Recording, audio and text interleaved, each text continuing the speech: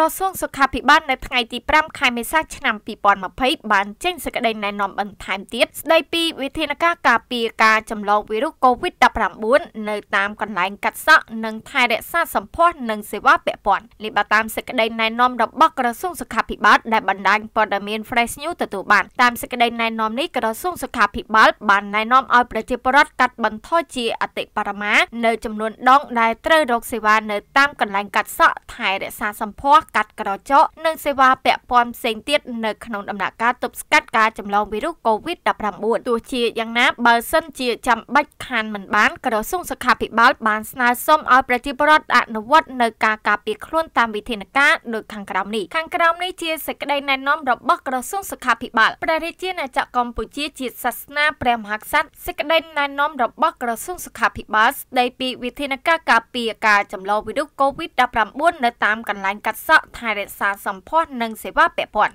ដើម្បីទប់ស្កាត់ការចម្លងវីរុស COVID-19 ឲ្យកាន់តែមានប្រសិទ្ធភាពថែមទៀតនិងការចូលរួមការការពារចម្លងវីរុស COVID-19 របស់បងប្អូនប្រជាពលរដ្ឋទាំងអស់នៅក្នុងសកម្មភាពប្រចាំថ្ងៃរបស់ខ្លួនបន្ថែមលើវិធានការនានាដែលយើងទាំងអស់គ្នាបាននឹងកំពុងតែអនុវត្តក្រសួងសុខាភិបាលសូមធ្វើការណែនាំដល់សាធារណជនទាំងអស់ឲ្យបានជ្រាបពីវិធានការការពារការចម្លងវីរុស COVID-19 នៅតាមកន្លែងកាត់សក់ថែរក្សាសម្ផស្សនិងសេវាពាក់ព័ន្ធផ្សេងៗដែលមានចំណុចសំខាន់សំខាន់ដូចខាងក្រោមនេះ1នៅតាមកន្លែងកាត់សក់ថែរក្សាសម្ផស្សកាត់ក្រចកនិងសេវាពាក់ព័ន្ធផ្សេងផ្សេងទៀតនៅទូទាំងប្រទេសក៏សូមកាត់បន្ថយជាអតិបរមានៅចំនួនដងដែលត្រូវរកសេវាទាំងនោះបើអាចធ្វើបាននៅក្នុងដំណាក់កាលទប់ស្កាត់ការចម្លងវីរុស COVID-19 នេះខប្រសិនបើចាំបាច់ខានមិនបានសូមអនុវត្តនៅការការពារខ្លួនដូចតទៅបុគ្គលម្នាក់ម្នាក់ត្រូវពាក់ម៉ាស់ទាំងជាងកាត់សក់និងអ្នកកាត់សក់ឲ្យត្រូវតាមក្បួនខ្នាតជាចាំបាច់រហូតដល់ការកាត់សក់បានចប់សពគ្រប់ជាងកាត់សក់ត្រូវលាង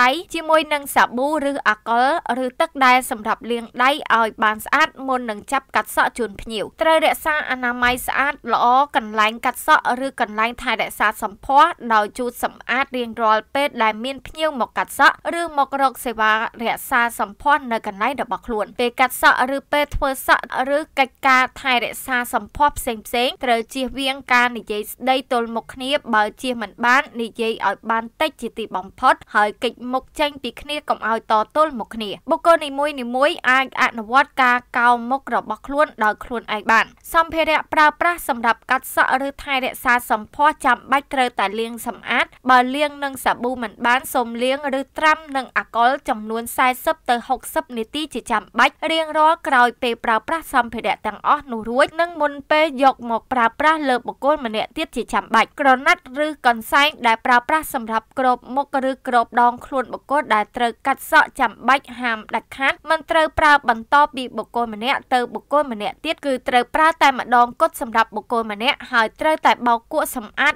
នឹងសាប៊ូហាលថ្ងៃជាប្រចាំនៅក្រណាត់ឬកន្សែងដែលបានប្រើប្រាស់សម្រាប់បុគ្គលម្នាក់រួចហើយនោះជាងកាត់សក់ឬថែរក្សាសម្ផស្សត្រូវពាក់ស្រោមដៃថង់ផ្លាស្ទិកឬកង់កៅអីកាត់សក់ឬកៅអីអង្គុយត្រូវដាក់ឲ្យមានគម្លាតពីគ្នាលើសពី1ម៉ែត្រកន្លះឡើងក្រោយពីកាត់សក់រួចត្រូវមុជទឹកដុសសាប៊ូកក់សក់សម្អាតខ្លួនប្រានភ្លាមភ្លាមមុននឹងជួបជាមួយសមាជិកក្រុមគ្រួសាររបស់ខ្លួននៅក្នុងផ្ទះទាំងអ្នកកាត់សក់និងអ្នកដែលត្រូវកាត់សក់ត្រូវជៀសវាងការចាប់ដៃគ្នានិងជៀសវាងការប៉ះពាល់គ្នាផ្ទាល់ជាអតិបរមាក្នុងអំឡុងពេលកាត់សក់ឬសកម្មភាពថែសម្ផស្សបុគ្គលដែលមានបញ្ហាសុខភាពឬមិនស្រួលខ្លួនត្រូវស្វែងរកការពិនិត្យព្យាបាលដោយហៅទៅលេខ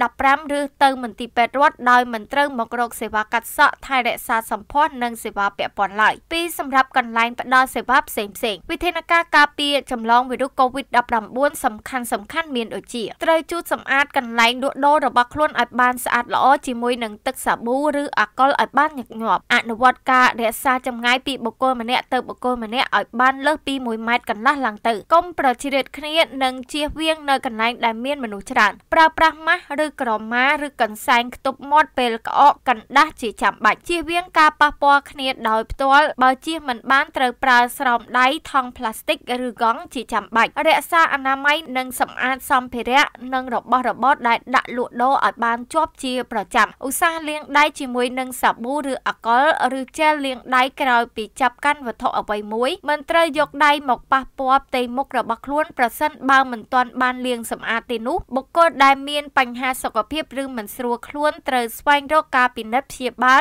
ដោយហៅទៅលេខ